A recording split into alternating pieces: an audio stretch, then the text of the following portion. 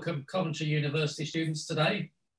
Um, as Leanne said, we're going to talk about uh, various areas of investments uh, and uh, Leanne's agreed with me a few areas to cover, which she just mentioned just now.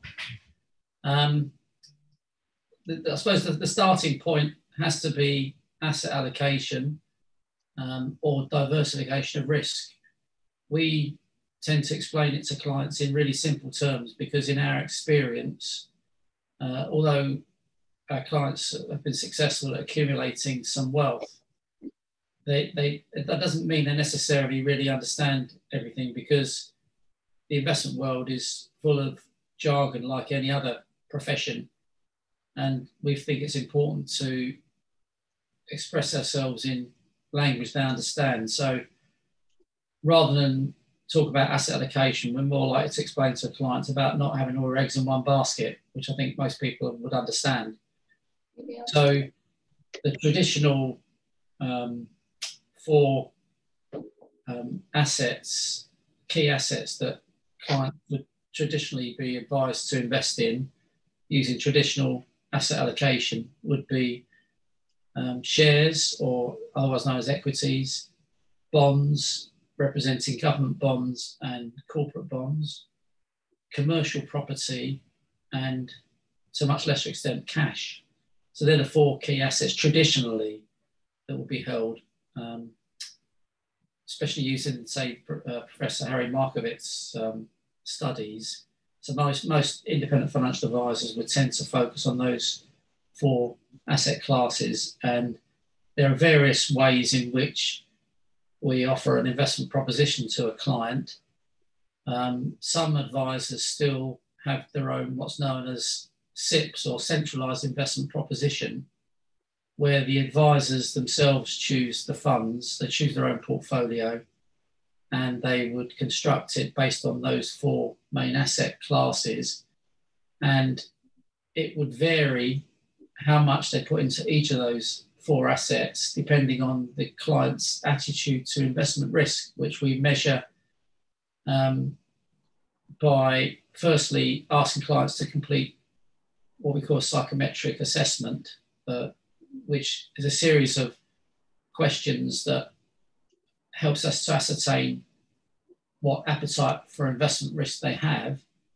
And we don't solely rely on the answers to that because a number of clients find it a bit of a struggle to, to complete it because I don't know if any of you in the audience have ever completed a psychometric assessment. Usually it's for job interviews, but sometimes the, the questions can be hard to answer because it's like a multiple choice format of five answers. There's no right or wrong. You can't fail this test or assessment. It's purely to ascertain your attitude to investment risk. And clients, some clients find it confusing and you get five answers and they, and they don't feel they fit into any of them. The, the idea is that you've got to make a quick decision to which one either you are or you're closest to. And these questions are scientifically designed after lots of studies and they produce uncannily accurate results, uh, the same as they do for job interviews. But you can't solely rely on a psychometric assessment because it's just a guide uh, you dig deeper by discussing it with the client because as I said earlier, they don't always understand the, the, technical words. And when you do explain it and teach them, then you may have a slightly different result to what appeared on the psychometric assessment. So what we do, we, we measure clients' attitudes investment risk on a scale of one to 10, 10 being the highest um, attitude to investment risk, one being the lowest. And the main difference between those scales of one to 10 is that the higher up the scale you go, the nearer to 10, the more money gets invested in what we would describe as riskier assets, such as shares, for example.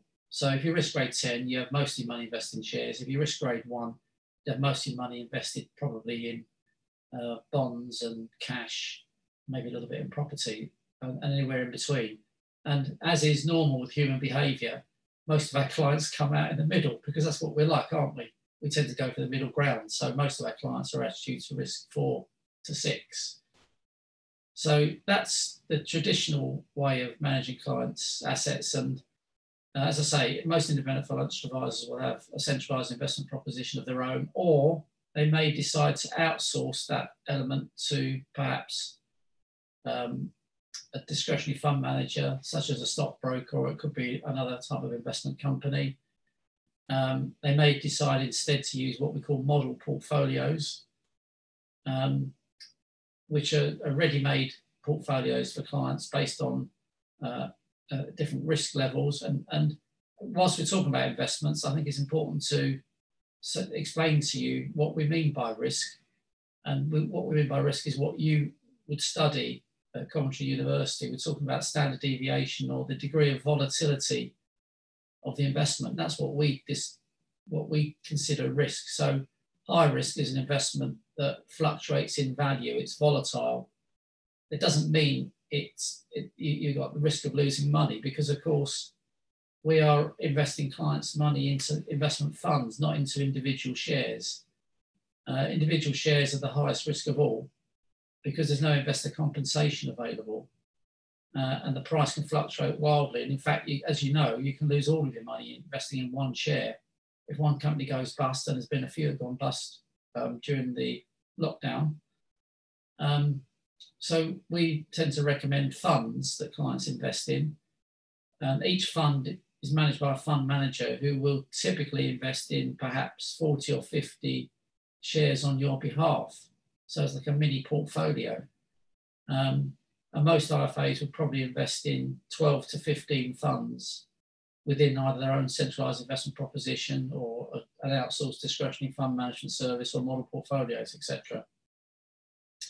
So that's how we would manage clients' risks.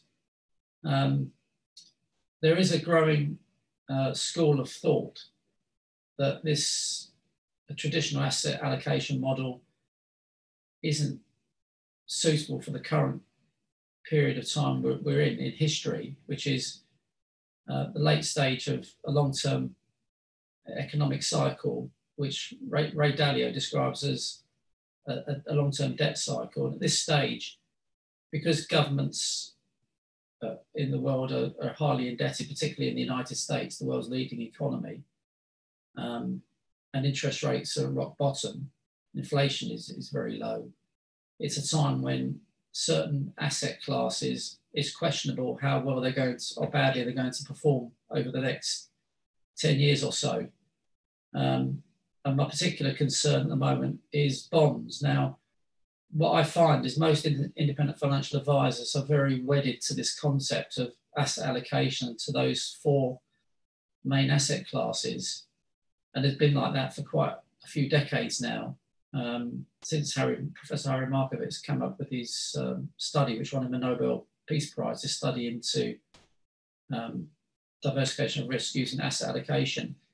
Now, it has worked very well um, investing in bonds for the last 40 years because we've been in, in an unprecedented period of interest rates falling. I'm old enough to remember when interest rates in the UK hit a peak of 17%, base rates hit 17%.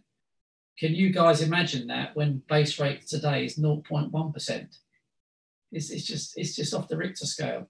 And interest rates ever since then, since the late 70s, have just kept coming down and down and down. And I recently wrote a blog on the 200 year history of interest rates in the UK. And interest rates literally have fallen for 40 years.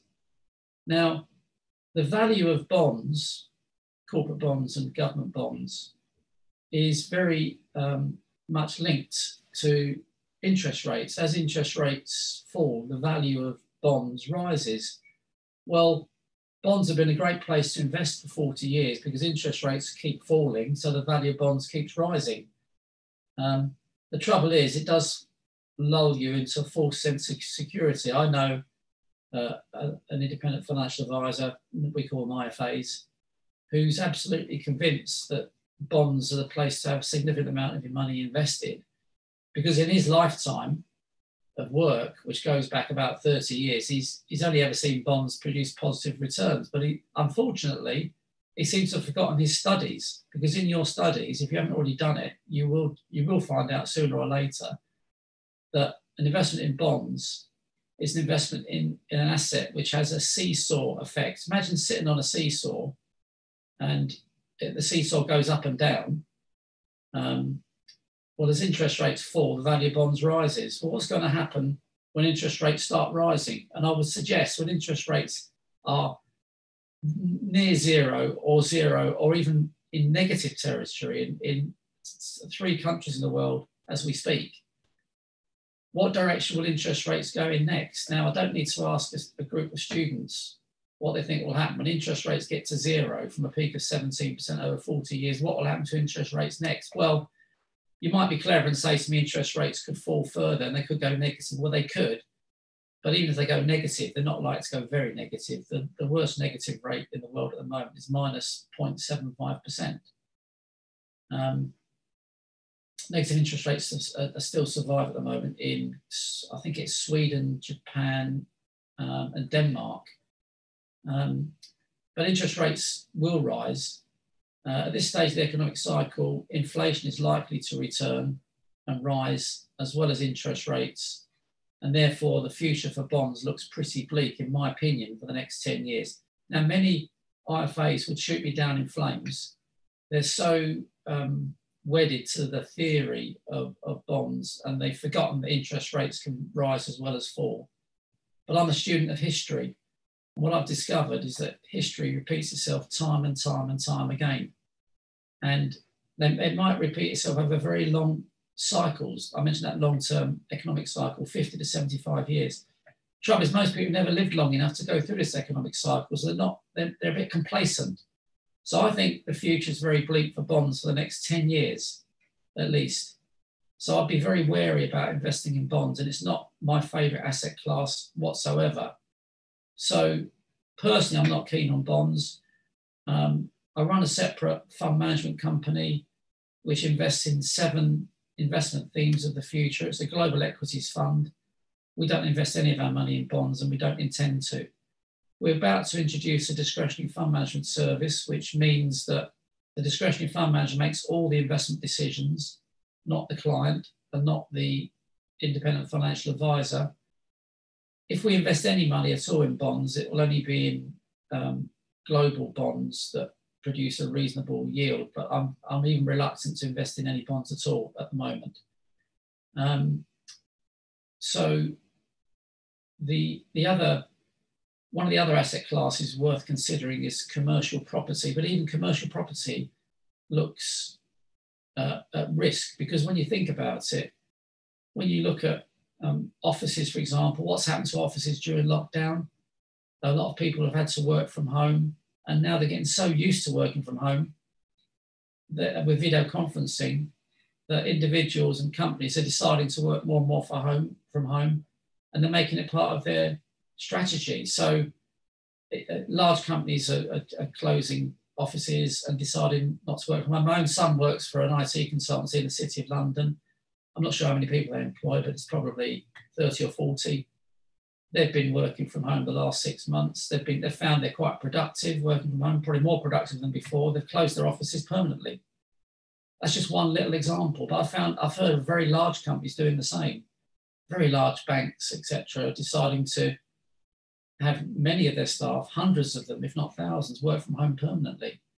So therefore, you can't help wondering that you know the the um, the future for commercial property looks decidedly um, dangerous at the moment. Not just offices, but you've always only got to look at uh, retail premises, for example. What's happening to the high street? There's already a trend to buying on the internet, and Amazon's a great success story but more and more of us are buying um, goods online, so, and less and less of us are going to shops. And of course, we're forced not to go to shops because of these repeated lockdowns. But I think what's happening in lockdown is that trends that were already happening, like video conferencing, uh, shopping online, etc., have just been sped up during the during the lockdown. So it's just a trend has, has been fast forwarded, if you like. So you can't help wondering that the future of retail premises is, is dicey as well. So when you think that the three main areas of commercial property investment is um, industrial, so warehouses, factories, etc., retail, um, and offices, it's all quite mixed. The area that seems to have the best prospects seems to be warehousing. Um, because of course the likes of Amazon are just going to continue to grow. You're going to have to have somewhere to store the goods that you buy and then sell. So that area seems um, set for growth. And of course, data centers. You know, this we, are all working in the cloud, the so-called cloud, and of course, there's no such thing as a cloud apart from the cloud I can see outside my window. That data is all stored somewhere, and it's usually stored in these these highly secure data centers. So the future does look bright for certain um, sectors in commercial property, and it could be bright for certain retailers but I think they've got to be pretty niche. I did hear a story once of a, a fairly small bike shop that was thriving in an internet age, and I wondered how they did it. And what they did was they made sure that the bikes they had were not branded bikes, so you couldn't buy them on the internet. And what they had is a service where you had to come into the shop to be measured up for your bike. I didn't realize that's how you how you order a bike. It's got to be measured to you personally, like tailored, like a tailored suit. And I thought that's a great example of certain businesses will continue to thrive on the high street. For example, nail bars, um, hairdressers, you know, the top restaurants. Do you think about it? You can't buy those things on the internet. You never will be able to, will you? So I wouldn't say commercial property is dead, but I think you've got to, if you're going to invest in commercial property, I think you've got to be very selective and very intelligent and invest in the growth areas of commercial property. Um, otherwise, you know, your investment will be a pretty poor one. Um, so that moves us on to uh, the main asset class, which determines your investment returns long term, and that's equities, that's shares. But even shares uh, look decidedly um, mixed at the moment because, of course, the coronavirus uh, pandemic and lockdowns is having a big negative effect on worldwide economies, causing governments to borrow huge amounts of money, which have to be paid back one day. It has to have a long term negative effect on world economies, although you wouldn't believe it if you looked at stock market values, particularly the US. So, uh, Ray Dalio, who I'll keep mentioning, is, is a guru of mine because he's an incredible uh, character. He's fairly modest. He's, he's quiet. You don't hear much about him in the UK, but over in the United States, he's the 50th richest man uh, from an independent survey. He's also the 50th most influential person in the world, according to independent surveys. He's written some brilliant books. He's a real student of history. He runs the world's largest hedge fund that manages $160 billion of assets, which is extraordinary and they won't take on any more business because they've got too big. Can you believe it? Um, so I do follow a lot of things he says, and he, Ray Dalio claims the next next ten years is uh, a dead period for equities for shares, which is all pretty gloomy. You're probably all sitting there at the moment thinking, "Crikey, this guy's been in this me. I've been in this business 30 years. It all sounds like doom and gloom." Well, believe it or not, I'm actually an, I'm actually an optimist. Um, but I'm also a realist. And we've got to, we've got to accept that we're going through very tricky times economically, but there will be winners coming out of this. There already are winners. And the big winners in the short term have been these giant tech companies we all are familiar with, the so-called FANGs. Uh, and, and, and the, the FANGs, Facebook, Amazon, um, Apple, Netflix, Google, or Alphabet really, aren't they? You could add, you could probably add Microsoft to that mix. They've done extremely well, uh, particularly um, Amazon during the pandemic lockdown. Uh, will those giant tech companies continue to do very well into the future? Um, most people think they will, but another guru I follow, Jim Mellon, is quite pessimistic. He he says that giant tech stocks are, are going to be for a very difficult time ahead because there's going to be increasing government regulation um, of these, these companies because they're monopolies. Uh, and monopolies have been broken up in the past. Again, if you go back in history, Standard Oil in, in the United States was broken up. I think it was back in the 30s. That became too much of a, a monopoly. uh, it's quite likely these companies will be broken up at some stage in the future, although not everyone would agree with me. Um, increased regulation. They're, they're famous for tax dodging. We all know that. Government's going to come crack down hard on them for tax. Um, they get their their main uh, asset, their their main um, asset they use in their business, data for free, because all of us give our data up for free. I can see someone at the front of the room, they're constantly on their phone. So clearly they're using one of these uh, giant tech com companies. Um, and of course, they, they, the people think that their, pro their huge profit is going to keep growing forever. But the, the thing I've learned over the many years I've been advising is that once you think something's certain and everyone agrees with it, it'll all go the opposite direction. It's just, it just seems to be what always seems to happen in life, in my experience. So whilst they look like they're going to go on forever and just keep growing, I'm not convinced. Also, these companies are increasingly being fined by regulators such as the FCA, which, which seems to have a pop at Google every year because Google's sitting on 120 billion dollars. If they hit them with a fine of like 1 billion or two billion dollars, it's a very soft target, and they know they'll probably get paid out. Um, the other thing as well, these companies don't employ a lot of people uh, as a percentage of their turnover. For example, I remember once reading that Google employed something in the region of, I think it was 10 or 20 computers um, uh, to, to, every one person. So when you think about it, there's not many people working in the company, there's not many people to tax. So what will the government tax? Because when you think about it, these companies, if they've got lots of computers doing the work rather than individuals, what are they other than robots effectively? So they'll probably end up taxing the robots in the future. They've got to find the, the tax revenue from somewhere to make the, the systems continue to grow. So I still think they're, they're, they're probably going to do quite well for some years to come. But I, I think in a few years' time, I think you're going to find they're going to be increasingly hit. So don't purely rely on giant tech to be the, the savior.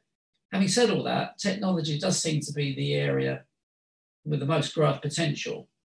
So our own investment fund is invested in seven themes of the future, and it, it, it is invested in all these growth areas. So, Internet of Things, robotics, 3D printing, um, artificial intelligence, uh, etc. And you can't help feeling this. These have got to be the growth areas. Um, and, and so there, there is still potential in equities, but when Ray Dalio says, says it's going to be a lost decade for equities, I think he's talking about across the board as a general asset that equities will face tough times. That doesn't mean you can't find a lot of winners, and I think you will if you're quite clever with carefully choosing the companies to invest in. You can't help thinking that technology and technology-led companies are the ones that got by far the greatest um, potential in the future. But just be very wary of um, giant tech. Uh, now, I don't know if I describe Tesla as a giant tech company, but it's a good, it's a good case in point. Um, Tesla has captured a lot of people's imagination, including my own. I, I own a Tesla myself, and I do think the car is an incredible car. It's not like any other car I've ever driven. Um, but that's not the same as saying that Tesla's a well-run company. Financially, Tesla is a complete disaster the way it's run. It's run by a flawed genius, as you all know, Elon Musk, and the company's been running for about 15 years or so. It's never made a dollar profit ever from selling cars. And it doesn't look like it ever will. Um, now, it's accepted wisdom that the, the valuation of a company, as measured by something known as the, the PE ratio, is around about 15 at the moment. And if you invest in a company that's got a PE ratio of, say, more than 30, you'd, you'd consider that expensive. Now, some of those giant tech companies have PE ratios of about 30 or 25, not too bad. A bit expensive, but understandable when they keep increasing their profits every year. You could argue it's justified if profits continue to rise. But Tesla's got a PE ratio of 1,100 compared to the average of the market of 15. I can tell you that is completely crazy valuation and Tesla is due for a huge fall. Now, there are another, a number of other companies that are in this speculative bubble at the moment. Uh, a company called Kodak. You're probably all too young in the room to remember Kodak, but I remember Kodak being the leading company for film and for cameras, for photography. Kodak dominated the, the world market when you had traditional cameras that produced um, hard copy photographs. But of course, the digital camera came along and mobile and, and smartphones. And Kodak, believe it or not, they actually invented the first digital camera, but they didn't take it seriously. They didn't think it would take off, that it would replace traditional cameras and, and hard copy photos. So they didn't really um, build the idea.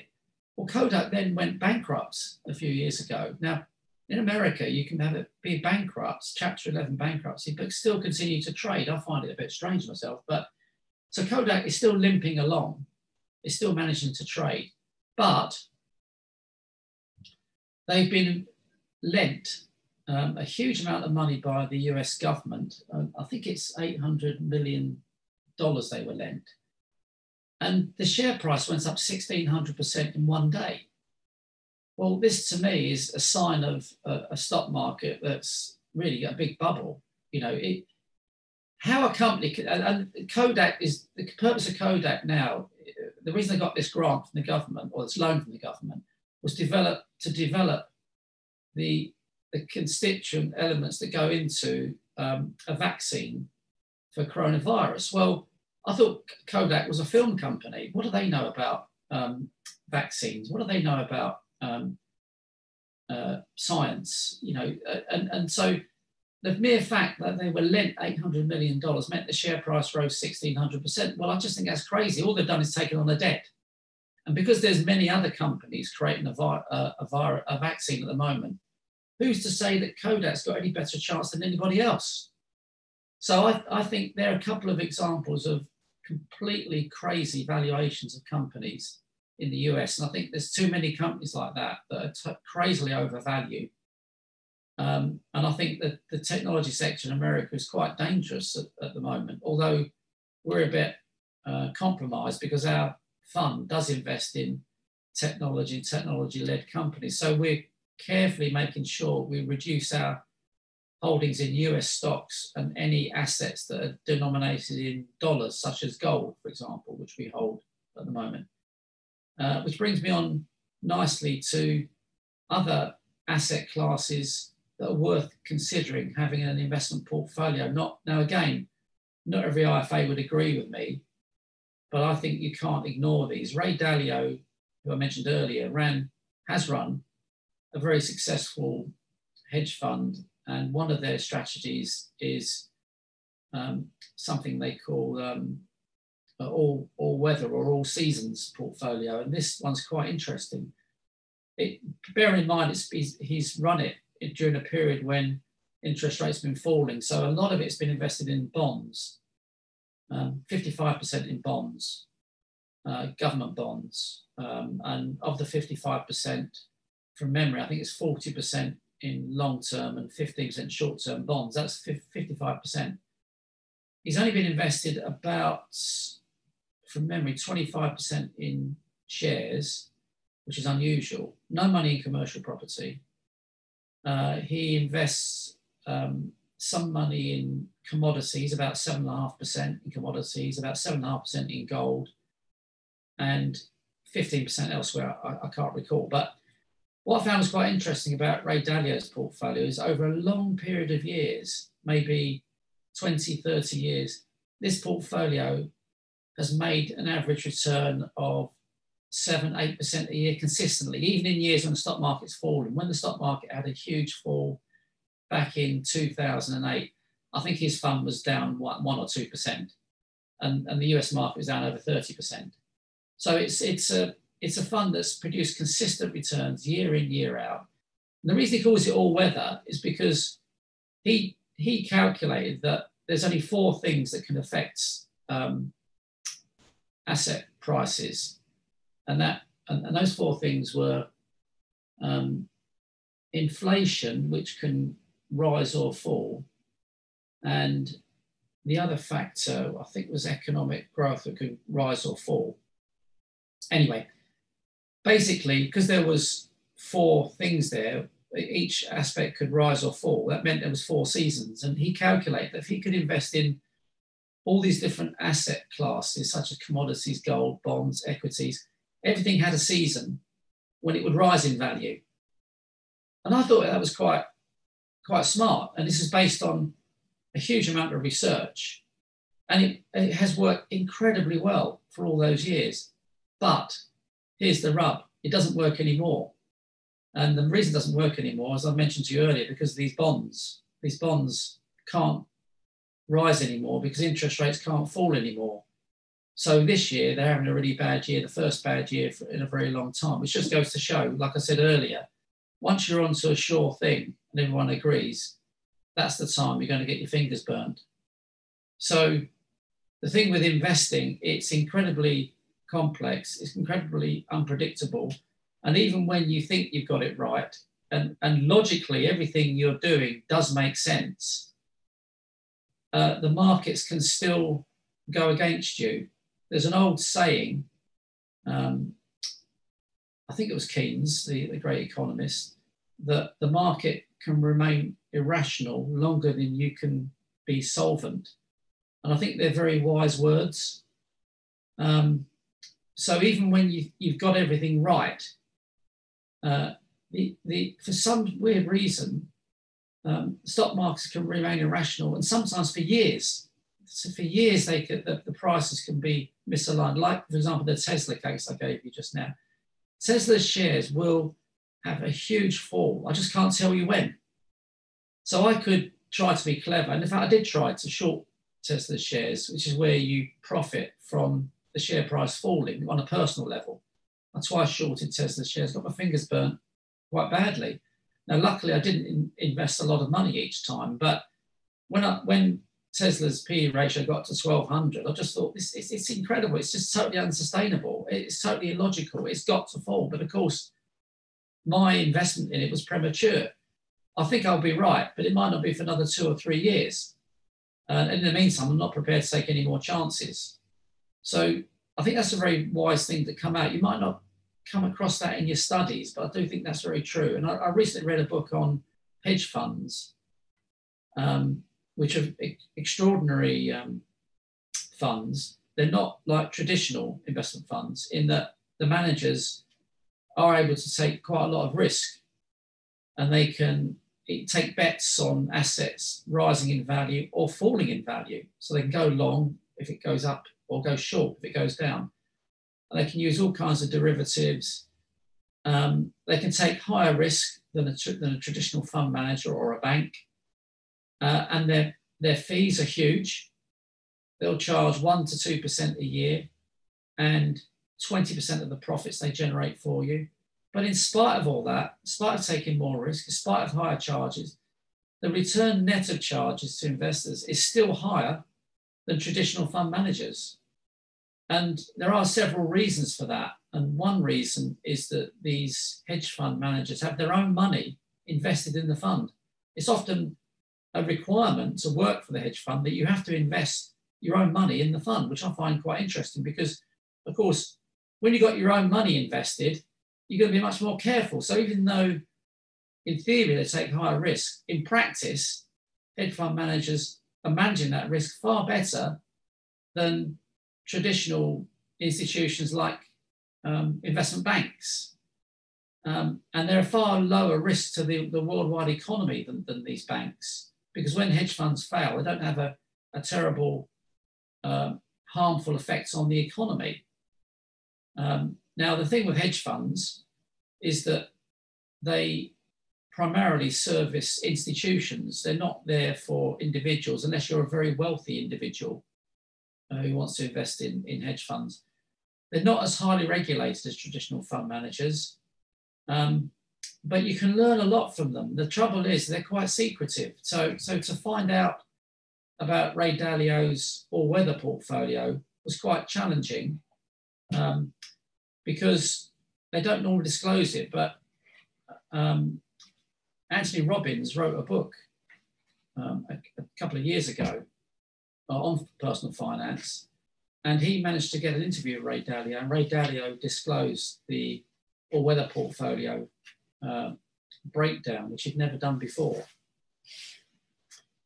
Um, and that's how we found out about it. We don't know what his current um, strategy is. We think it's not dissimilar to what it's been in the past. But I think it's for the reasons I've given. I think he needs to change his his um, asset allocation, um, especially the bond allocation, which needs to be reduced. Um, so we've talked about um, asset allocation. We talked about the main assets you would use. Um, I've been very influenced by Ray Dalio. Uh, I'm gloomy about uh, bonds. I think unless you're very selective with shares, you could experience trouble with shares as well to come. And you've got to be very careful with commercial property to choose the correct commercial property to invest in. Um, I was going to talk a little bit about our own uh, fund and our own um, discretionary fund management service, which we're about to launch, in that we've been quite influenced by Ray Dalio. And unlike pretty much all um, UK fund managers and discretionary fund managers, we're going to have a different approach. So we, we are very keen to include um, precious metals and commodities in our asset allocation because at this stage of the long-term economic cycle, as I mentioned earlier, um, inflation is going to return. It always happens towards the end of the reign of an empire, and United States Dalio does describe as an empire, and this 50 to 75 year cycle it's had is going to come to an end in the next few years, and inflation will return. And, and in fact, the US have just announced recently they're going to let inflation run. They can't create inflation as such, but they're not going to try to control it.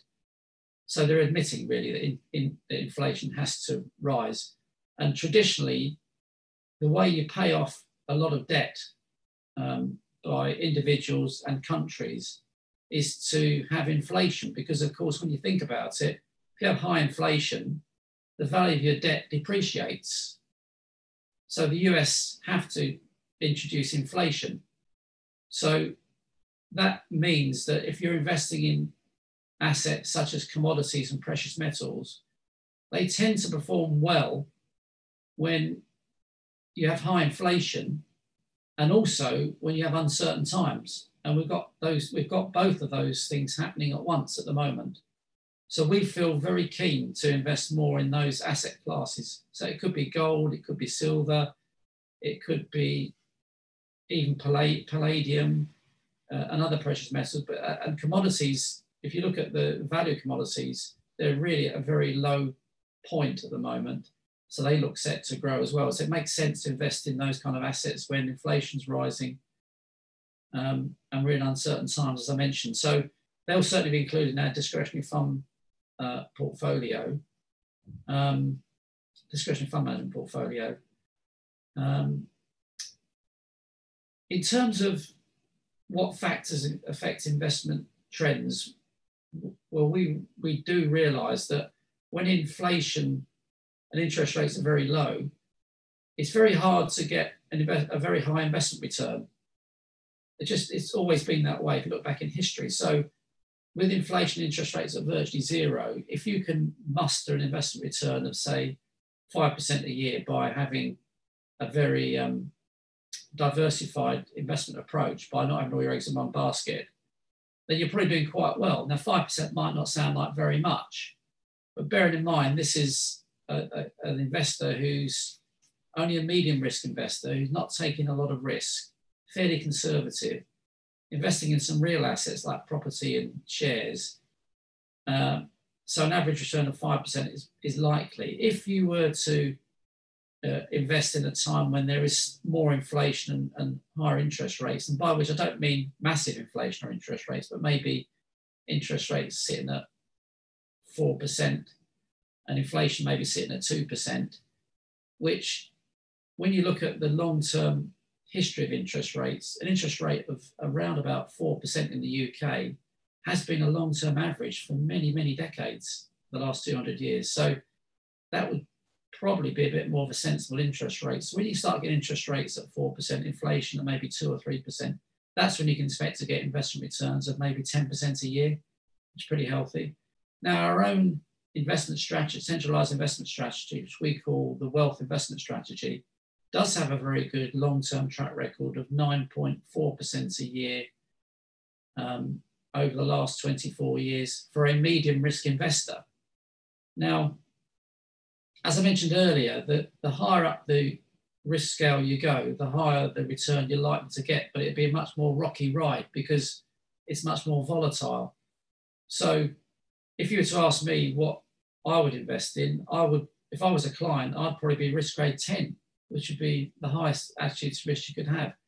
Not because I'm prepared to lose all my money, but because I know that if I'm going to invest for 10 years or more, risk grade 10 is going to give me the best return, but it will rise and fall a lot more. So you need to bear that in mind.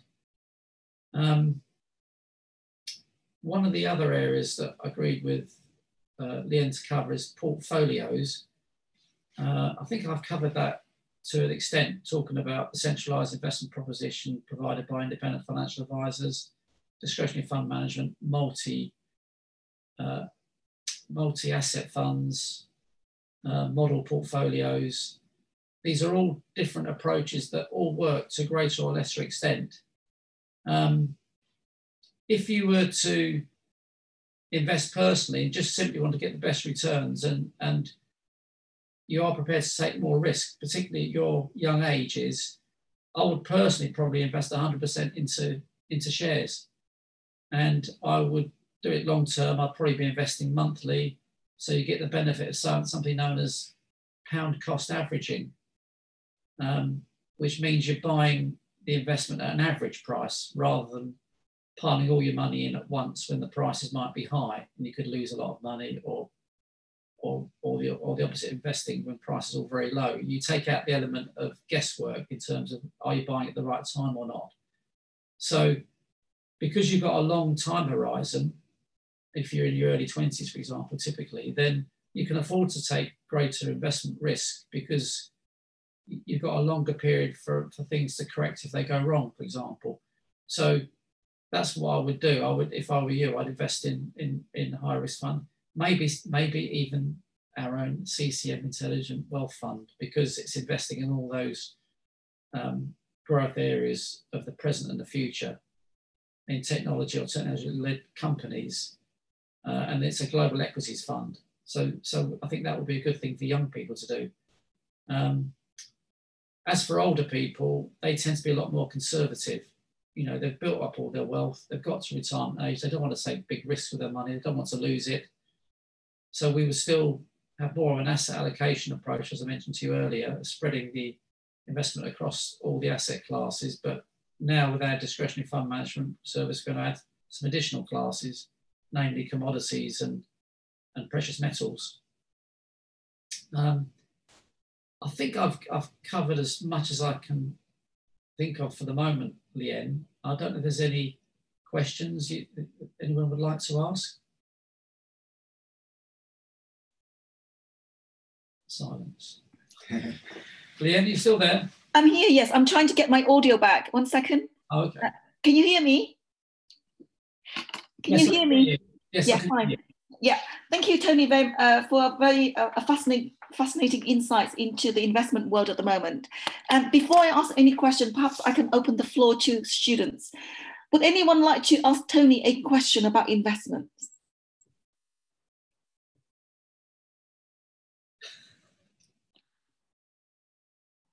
Yes, I have a question. Yes, yes good. Uh, thank you, sir, for the uh, nice presentation, firstly. And I just wanted to ask um, if there is any any way um how can i deal with the stock stock investments in a in a in a, in a good way um well, you mean you want to get started in investing you mean is that what you're saying I, I, haven't started yet uh, with stock investment, but I, I'm interested in. So, okay, well, it depends on probably depends on your budget, uh, whether you want to invest a lump sum or invest monthly. But there are many organisations including our own, where you can set up a say a monthly payment or, or an annual or a lump sum payment into an investment. You're probably looking at, it depends how much you're looking to invest really and for how long, I suppose is the key question. But um, there are many ways you can invest your, your money quite easily these days on the internet. But you'd probably be looking, if it's for yourself, you talk about for yourself personally, Hyan. Is it Hyan or Hian? Hyun, yeah. Yeah. What is it for you personally? Like um I've heard that the stock investment it's um like shares they are Yeah. really a good way to uh, expand my budget and money as well Well, I'd say if I were you, I'd probably invest in a fund because, as I mentioned earlier, a fund manager will typically invest in maybe 40 or 50 shares on your behalf. And we will, I will be introducing you to, or Liam will be introducing you to Awet um, Gamani in, a moment, who used to be a student at Coventry University and he's now our investment researcher for the fund. And I know personally that Awet puts in many, many hours of research. So you're getting the benefits of a research research team that will invest many hours in finding the best stocks that are out there for you. Saves you having to do it yourself. So it's probably the lowest risk way of doing it because you also have the benefit if it's a a, fund such as something known as an OEIC or, or a unit trust. These are highly regulated funds, and you have something known as investor compensation scheme worth up to eighty-five thousand pounds. So if in the unlikely event that one of these funds failed, you get all your money back. So I think that's quite quite key. Um, and the diversification of risk that I've, I've spoken about at length today, you get the uh, diversification by using someone who's or, or a firm that's studying these stocks permanently, permanently reviewing them, and, and buying and selling stocks, selling stocks that are underperforming, buying stocks that are, that are overperforming, and managing the portfolio effectively, managing a portfolio for you. And because you can do it monthly as well, it's quite a low cost way of, of buying and, and reducing your risk. I would say so. That's what I would do. I would invest if you're getting started. I'd invest in a fund and probably do it monthly. i'll do it monthly okay Tony, can I ask you about the the funds that you invest in? You mentioned that there's several uh, themes or several seven factors that you focus on. You mentioned precious metals and commodities. What are the other six? You say robotics, 3D printing, AI. yeah, they're not strict. They're not strictly the um, the main asset of the fund. We're temporarily invested in gold more as a hedge in the short term, um, not because we believe that's the long term uh, asset class to invest in for the fund. Because of course, gold isn't uh, one of the seven uh, growth themes of the future. It's just a temporary measure because stock, current stock market volatility. That's the only reason we've invested in that. But it, if you want to know about the seven um, themes, if you just bear with me a moment, I'll read them out to you. Um, right, the seven themes, and you can find this on our website. It's Minerva Money Management. If you just type into Google Minerva Money Management, you'll find our website. So the seven areas is connectivity. So, for example, internet, um, etc. Longevity, which includes biotechnology, pharmaceuticals, longevity itself as a subject. Uh, payment processing, which is really all things to do with modern banking. Um, transportation, which we could include electric cars, uh, uh, automate, automated, automators, automotive, Autonomous. autonomous vehicles, um, automation, all things that like robotics and uh, all things autonomous, renewable energy, we're very keen on, and publishing. By publishing, we mean online publishing, you know, like Google and, the like. So they're the seven main main themes, and within them includes sub themes such as artificial intelligence, 3D. augmented reality, 3D printing, you know, robotics, um, Internet of Things, and, and all those areas. We think these are, are definitely the, the, uh, the biggest growth areas in the world. As I say to you earlier, the, the, the problem we've got is that we're pessimistic about the dollar and about the US, and the problem is that the greatest technology companies in the world currently are in the US, although there are some fantastic British companies, and we invest in quite a few of those. And of course, the Chinese you can't underestimate. They've got, we talk about Silicon Valley in the US, but they've got a city, Shenzhen, the city of the future in China. It's, it's extraordinary, you know, and, and I don't know why it doesn't get more publicity. It, it's, it's got extraordinary innovation and technology there. And China is fast catching up with and probably going to overtake Amer America, probably already is in some in many ways. So one of the things we're going to do in the future is invest more in the growth areas of the world, and we consider them to be China number one, um, emerging markets, Japan, um, UK, UK vastly undervalued because of the uncertainty over Brexit, vastly undervalued. It's the sixth biggest economy in the world and home to many brilliant companies, many of which we're invested in. So we're very bullish about that. So we think you should invest in undervalued companies in undervalued markets in the world and, move away from areas that have had a great, great run, but have got a lot of um, negative prospects, particularly the US and particularly the dollar. If you visit our site, you I think you find it very fascinating, Minerva Money Management. Yeah. That's very interesting because um, I was reading about the BlackRock. Uh, the BlackRock publishes an article called Mega Trends, and they talk about five different trends that's affecting societies at the moment. The first one is rapid urbanization. So, because of urban, uh, rapid urbanization in yes. many uh, uh, areas around the world, you need to have a better infrastructure. Um, yes. E-scooters, electric vehicles, um, online takeaway. So in China, for example, people can order their, their, their food online using, uh, you know, um, and it, it, WeChat or whatever. So that's one trend which they talk about. The second trend is technology. So yeah. you've got the e-commerce, electric vehicles, robotics, blockchain, cloud computing, streaming, solar panels, which you talk about as well. Yeah. And the third one is demographics and social change. So uh, the aging population lead to kind of you know the need for better healthcare, um, and then there's also shifts in consumer spending as well. So yeah. now we got a lot of older people, don't we? And so maybe the the way they spend the money is different from the the traditional uh, patterns. Yes. And the fifth, the fourth one is the emerging uh, global wealth. They talk about uh, that India is likely to overtake China in the in the future. Um, so I don't know what would happen if India will overtake China, whether we should, uh, you know, maybe uh, focus more on India rather than China. And the fifth one is climate change and resource scarcity. So, so here you need to have uh, renewable energy, solar, and also energy efficiency, which is going to be a big thing as well, isn't it? So some of those themes I think you cover as well. well so we cover Leanne, we cover all of them. Um, yeah. It's funny you should say that.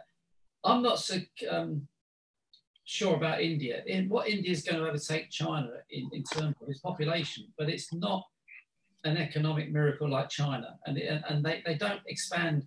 China's been very smart uh, in many many ways, and one of the things they've created is a second Silk Road, haven't they, in the seas, in emerging uh, uh, countries in their infrastructure, and they've, they've, built lots of projects, and including a, a, a big railway line, haven't they, on the Silk Road, the traditional Silk Road.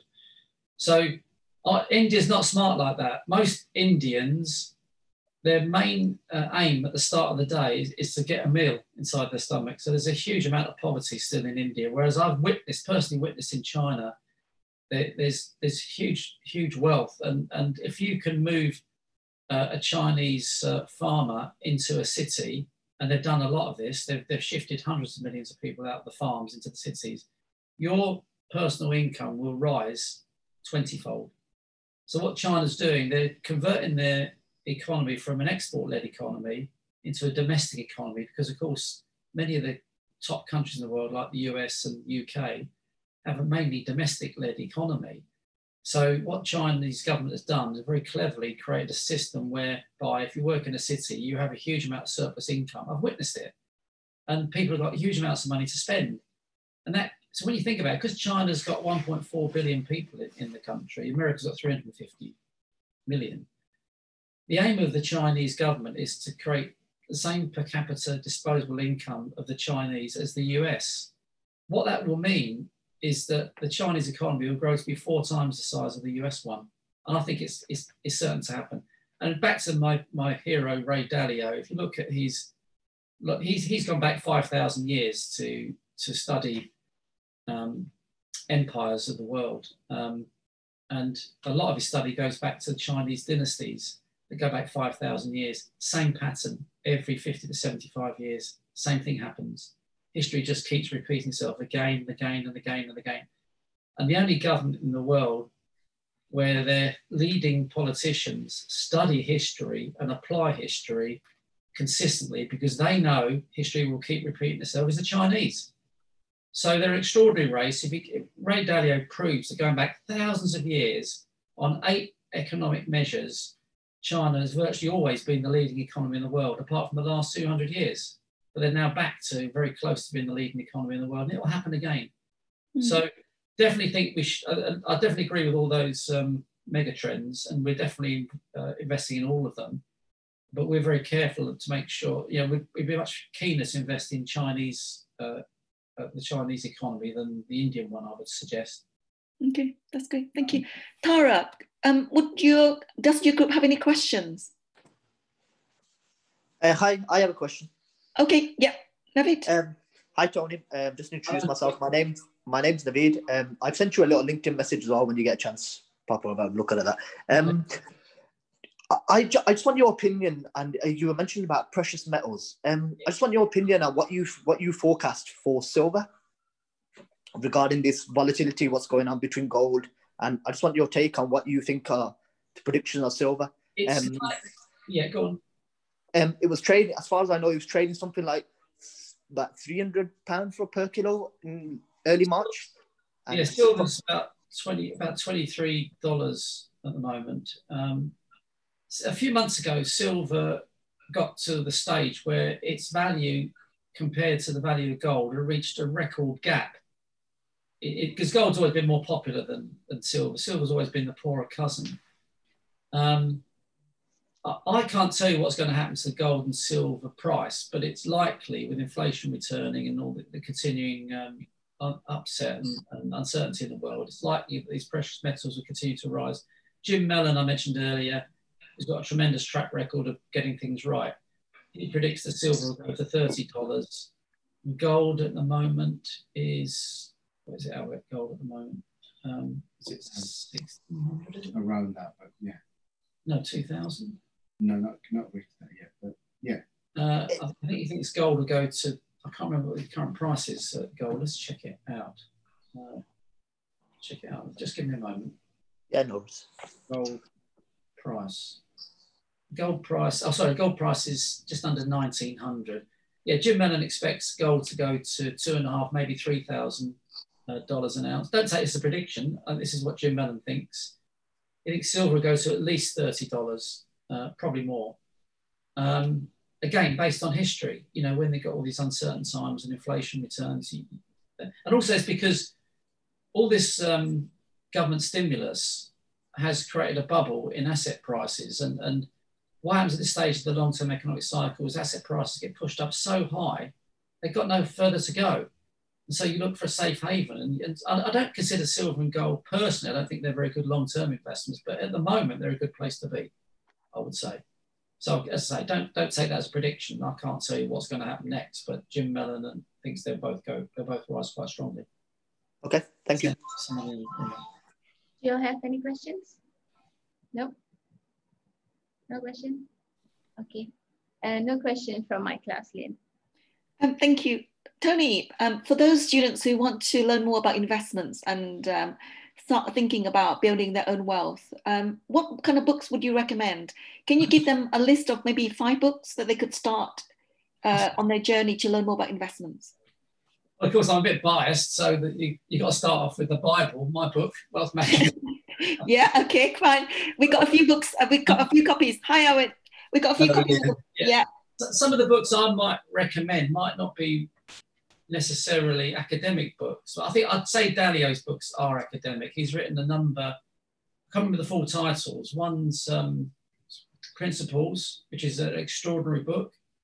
And I definitely think you should have that on your university reading list or study list, Leanne. Principles of, of success, yeah? course. What the other Yeah. books of Dalio, Dalio's? The debt crisis. The debt.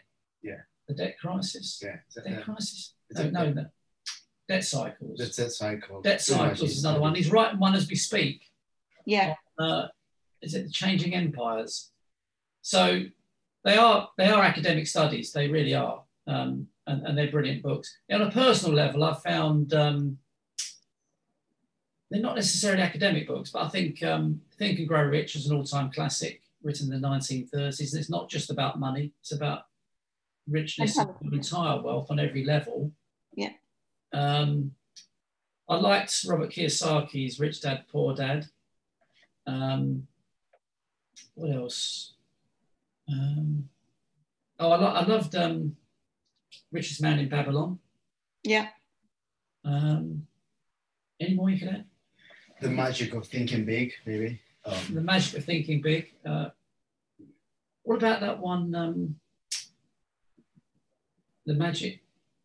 Uh, the magic formula. Magic Formula. Yeah, by I think that's uh, for investing. Magic Formula is another brilliant book. I mean, there's just there's no I could talk all day about these brilliant books, but uh, there's many that will expand your mind, expand your horizons.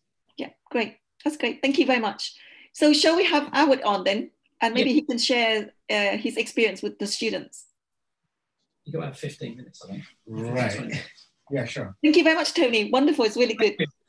Thank you. Really enjoyed it. That's right. good. Um, Shall I leave you to it? I'll leave, Sure, you- sure, I'll leave yeah. you to it. Yeah, thank you, Tony, again for a good, uh, really great Yeah, lecture. you're welcome. I'll leave you to it. sure, sure. Can you sit down? Oh yeah.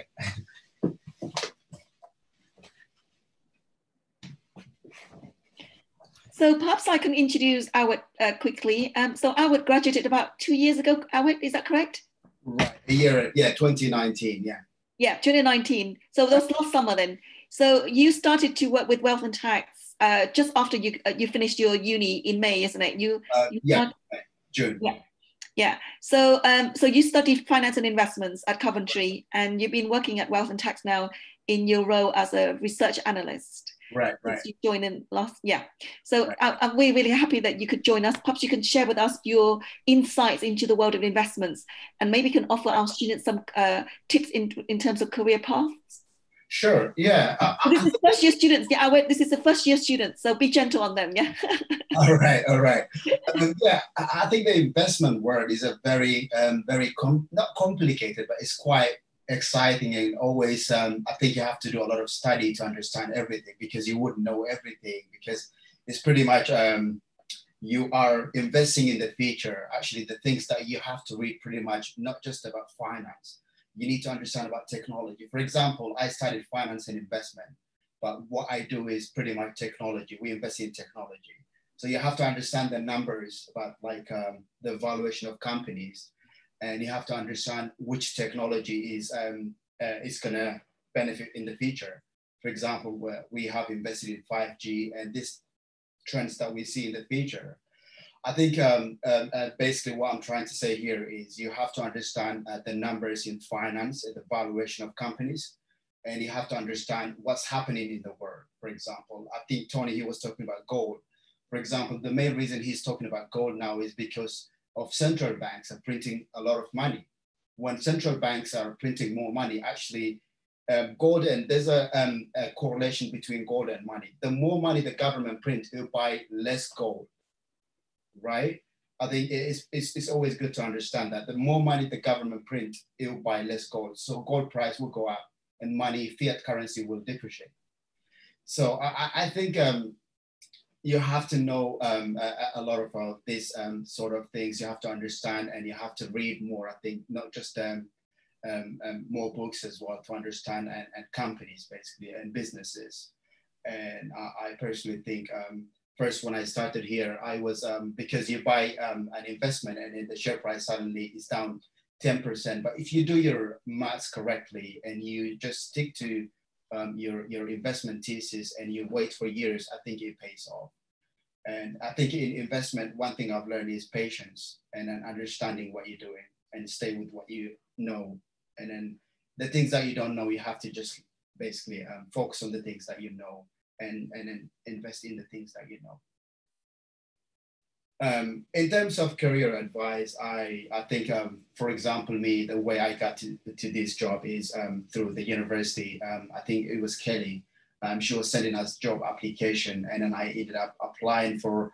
I had an, um, I think I had an interview with Barclays first, and then and here and Wealth and Tax, and I, I think they both offered me the position. I ended up coming to Wealth and Tax because I think Barclays they took so long to for the application process, and it was it seems it was taking too long. I ended up coming to Wealth and Tax, and now I have been working with Wealth and Tax for over a year and three months so far.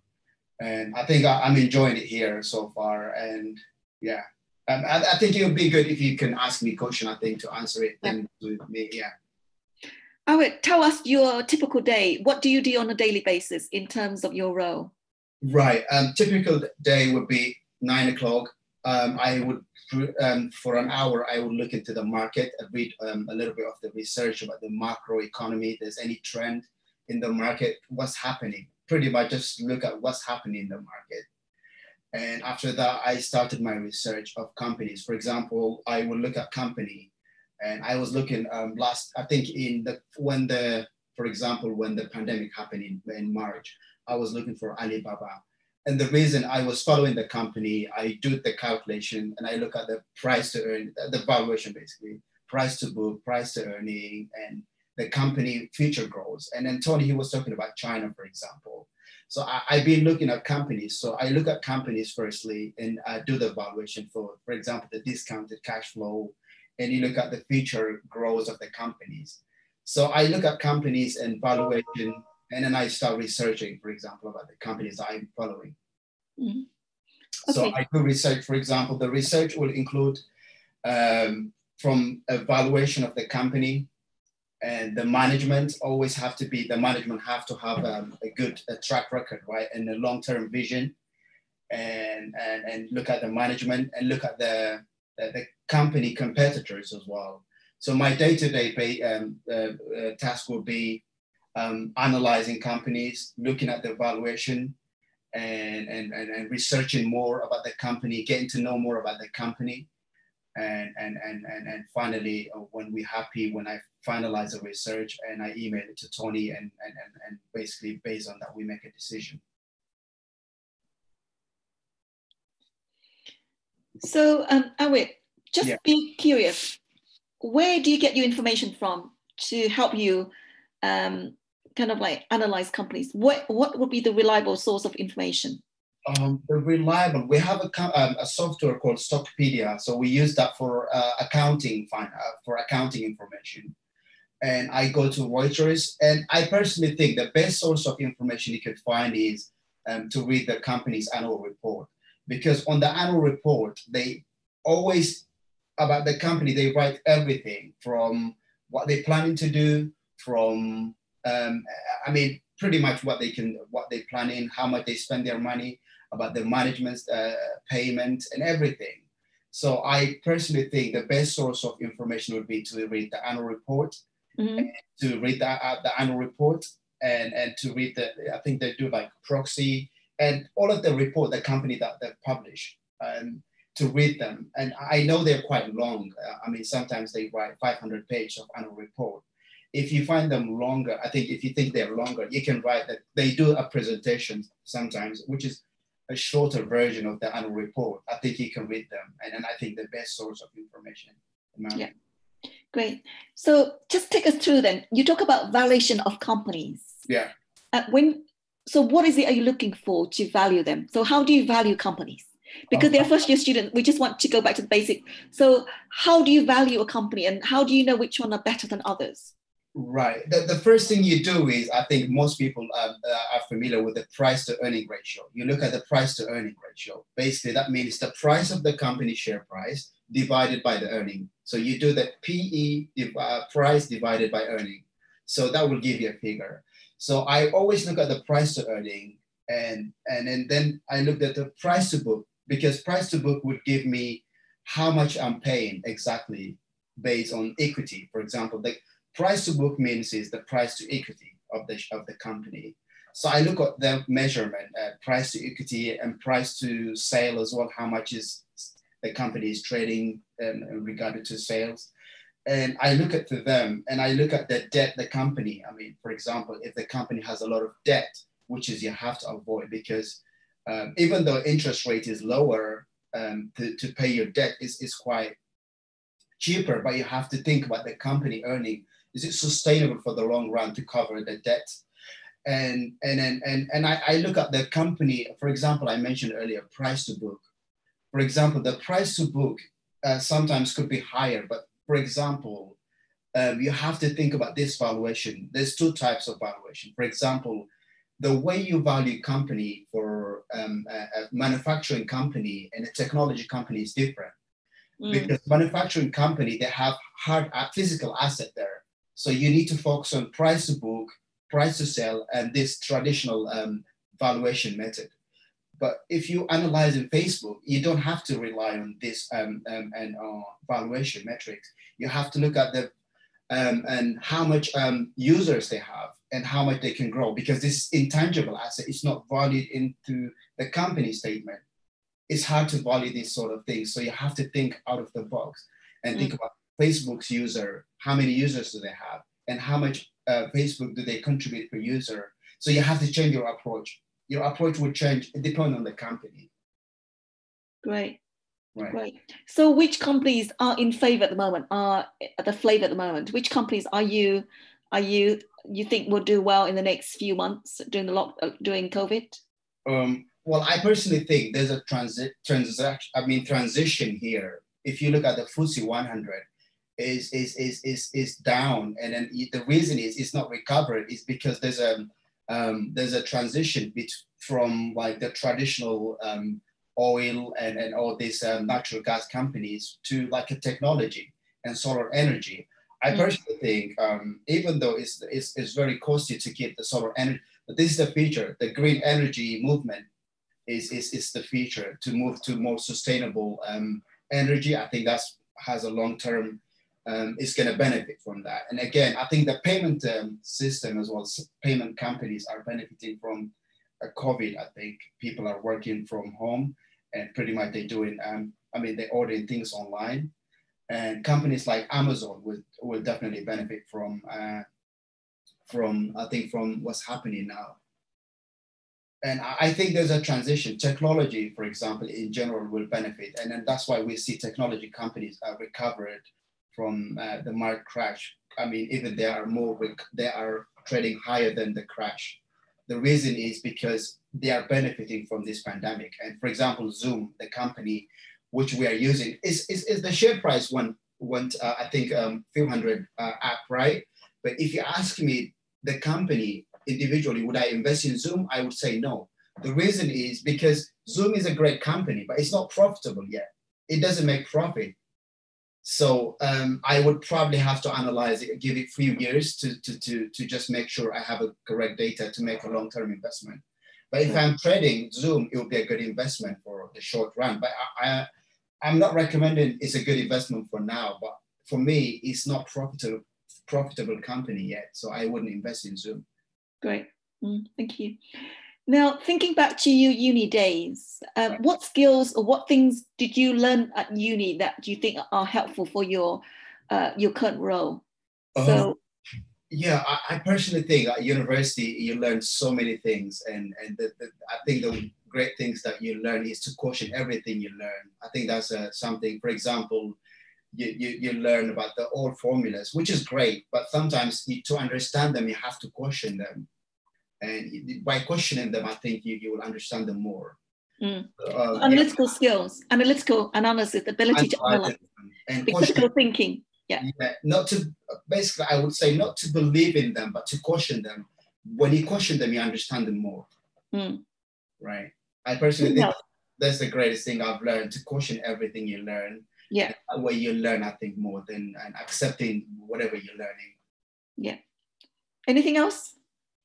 Um, I, I, personally, I learned, um, I, I, think um, um, basically uh, having a group um, because I we had a class, I mean, my classmates were quite, every time we talked about the investment words, so it, it was good because we, we had different people from different backgrounds. We were learning from each other. I think that was a, um, I think that was a great thing I learned at university because I was learning every from from different people, from the lecturer, one thing by asking question and again from the people around me and asking them questions because they all have different views on than mine. So I was learning to see different views and then I was just questioning the views and that way you learn, I think as well. Mm-hmm. So what kind of skills or what kind of things that you wished you had learned at uni that you, you would have been helpful for your current career? Anything that you wish you had done more at uni? Um, I, I yeah, I would say like um, um, Excel to use more advanced Excel, I think, and yeah, things like um, using um, Microsoft Excel, not just a normal Excel, to use an advanced one, and mm-hmm. I think that would be um, yeah an advantage uh, when I was at university. And I think to learn more about the pro, not programming, but to understand a little bit how the the, the behind the I mean using Python maybe something. Mm even though we don't use it here, but I can see there's a demand from um, employers, mm. right? Because um, they, they, they use the data now, all they need is uh, the data to understand the data. And then you have to use Python and, and some other, mm-hmm. uh, yeah, to understand them. Great. And, um, you know, obviously, uh, Wealth and Tax interviewed many students for the role. Yeah. What is it that uh, set you apart from other students, from other candidates? What do you think what was the thing that stood out for them? Um, I, I think one thing I would say is when you when you're a student, it's good to be a student, but at the same time to understand that, that what you're studying outside of university. Um, I think, for example, I was um, the university um, offered me to, to re- I mean the Financial Times for free at that mm-hmm. time. I was reading the Financial Times, and I was um, actually participating in the market. So that gave that gives me an edge when I came for an interview. I pretty much knew what I was talking about, right? I mm. was saying when they question, were questioning me about the market, I was challenging them. I had my own view. And I said, no, this is the way I think and it's going to go. And and so I personally think it's good to understand not just about you to, to know the financial world outside of university, to take your university level, I think, further to understand more about how the world works, how the finance. What I mean, I mean, how the market moves, for example. Was, mm. for example, at that time, gold were, um, because it was so much uncertainties, I think in the interview, they brought gold and I um, ended up discussing about gold and, and gold were, I think that at that time I was, I mentioned gold, I was bullish on gold and I was, in, I think I invested my own money on gold at that time. And then I think even it, my prediction was right. I think gold were, I think if you, um, I've been tracking gold. It's been going up since then. Mm, great, thank you. Perhaps I can open the floor now to other questions. Sure. Um, anyone, does anyone like to ask Awad any questions about his experience as a research analyst or his, how he got into this role and whether it's interesting or not? Please ask Awad any questions. Yeah, feel free to ask me. I, I mean,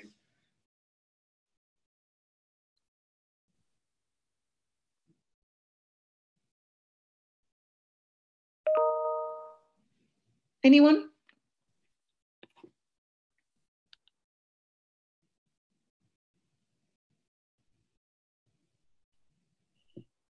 Tara, Tara's group, do you have any questions?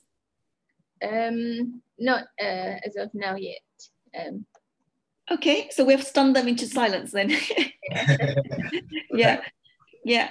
Um, Navid, uh, anyone, Esther, uh, Janet, anybody, Kyle? Anyone got any question for for Awad? Um, uh, hi. I just have uh, just a small question. Um, upon completion of your degree, um, did you do any kind of work uh, work placement before you got your job, or um, what, no. what route did you take? Um, no, I didn't do any um, work placement or anything. But before I joined university, I had a work. Experience. It wasn't in finance, but I did work in um, credit management and a little bit of. But it wasn't for long. But I had. I. I, I don't think I. I didn't have um, a finance experience, but, but I was, uh, the, I knew the financial world, even though I didn't work in there, but I was investing my own money at that time. So I understand it. But I did have work, um, uh, I didn't work in finance, exactly like in, in investment work. Okay, okay. Yeah, thank you. No problem. any other question at all? No? Yes. Yes.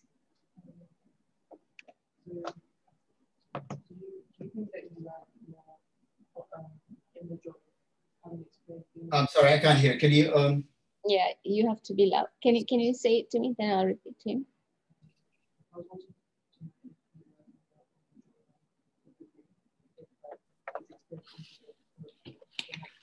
Okay. All right. The question is, um, do you find um, the experience uh, on the job experience that you had before um, joining uh, this uh, company were more helpful? No? um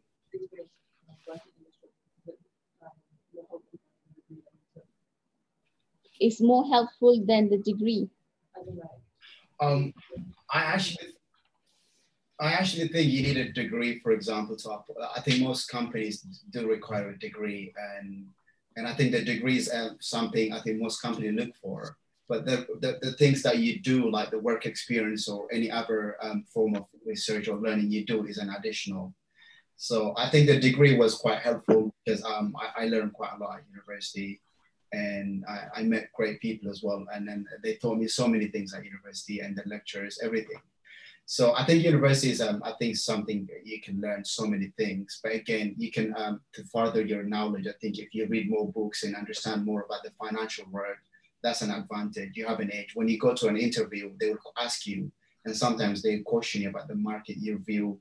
And I think if you don't understand and if you don't have views, sometimes they might think you're not passionate about this. Uh, I mean, the financial world. So I always think it's good. You have a degree and you have an advantage, and you do follow the market every day. What's happening, for example, for example, what's happening today, how the lockdown will affect, um, if they ask you in an interview, how the lockdown will affect um, the investment world, which sector would be affected. I think things like that you need to know and to prepare for it, basically. Okay. Uh, does that answer your question? Yeah. Okay. Um, can I ask you something? Um, did you think that um, investing your own money and Yeah. then um, um, uh, uh, investigate, you have to um, follow some companies um, to see how's their performance, and having your own money invested in that uh, make make you um, more interested in this kind of job?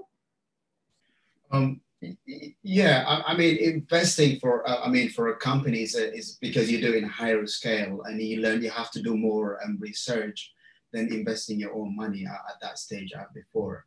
But if, I think you, you, yeah, you, you will have to look at the company differently when you're working for, because the, the research you do is pretty much, it has to be documented, it has to be followed with the regulation in so many ways. Um, um, I think, uh, yeah, I, I think it's, it's, it's not the same because it's, you do it in a greater scale for other, with a company and it has to be documented, as I said earlier. And you have to look at, at it properly and, and then explaining the reason why. What, for example, if you have to invest your own money, it's, it's, you don't have to explain anything. You just have to do your research and you have to invest it. But for the firm, you have to um, challenge your ideas. You have to say, this is the reason why I believe. For example, um, we, were, we are bullish on China and I have to say why we are bullish on China. The reason is you just have to mention the reason why. So I always think it's different, but you have to give a reason why you think you're right. Okay. So they, it's important to, to have your own views, to be able to analyze them and to be able to justify your views, really, isn't it? That's what you're saying. So Right. we would expect a graduate to be, you know, confident about um, defending their own positions and Right. provide evidence and arguments to support them. Yeah. Exactly. Yeah. That's Yeah. my Yeah. So they need someone who is inquisitive but also critical in their thinking and who who have their own opinion about things rather than just uh, you know go with the, the trends and you know say what people want to hear. So right. Yeah. Because they want an, uh, an employee to think independently. They don't want them um, to, I mean, to tell to tell them. I mean, every time they want them Yes. to be critical. Yeah. So you, they want you to work on your own initiative and to be a critical thinker and Right. to take charge of the project, really, isn't it? So that's what you're doing for Yeah. Wealth and Tax. You're adding a lot of value because you can take the, the, the, the burden off Tony and you know release him to do other things. Right. Yeah. Yeah. So Tony, do you agree that Edward is a great asset to your company? He's the Oh, you put me on the spot now. yeah, of course he is. Of course he is. Yeah. I've heard wonderful things about you. Tony says that, that you're, you know, a great asset and, uh, you know, so maybe use this opportunity to negotiate better pay rise then, yeah. I'll be asking for a big pay rise now, and I'm really on the spot. Thank you. Yeah. Okay. Yeah. Okay, so does anyone else have any more questions for Tony and Awit? No.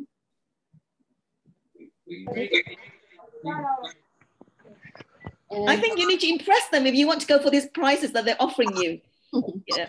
You know, this is a really great opportunity to ask them uh, about the latest trends, the latest, uh, you know, the secrets into the world of investment. So please um, ask any question you want.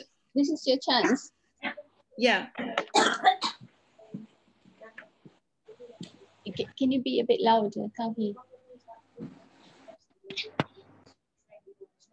Yeah, um, like personally or yeah, okay. Okay, uh, this student uh, would like to find out when you said you were investing, uh, were you investing in the stock market or any other uh, investment? Um, yes, when I was a student, I was invested in the stock market. Um, pretty much, it was um, analyzed. I, I look at company, and I it was a short-term investment. So it was pretty much, um, yeah, investing in the short run. Yeah, in the stock market, equities. Yes. Okay. Any other questions? No? We've stunned them into silence, Leanne. Yeah, that's great. No, we. Uh, I think it's been a really great session to have the opportunity to ask experts like yourself uh, questions about investments. So we're really grateful for your time. And mm-hmm. so thank you very much, Tony and Awit, for your contribution and for your help, because I think, you know, even though they don't ask questions, I'm sure the session has changed the way they think about investments now and hopefully has inspired them to take a greater interest in the area, which I think is really important to do if they want to grow wealth, doesn't it? Yes. Right.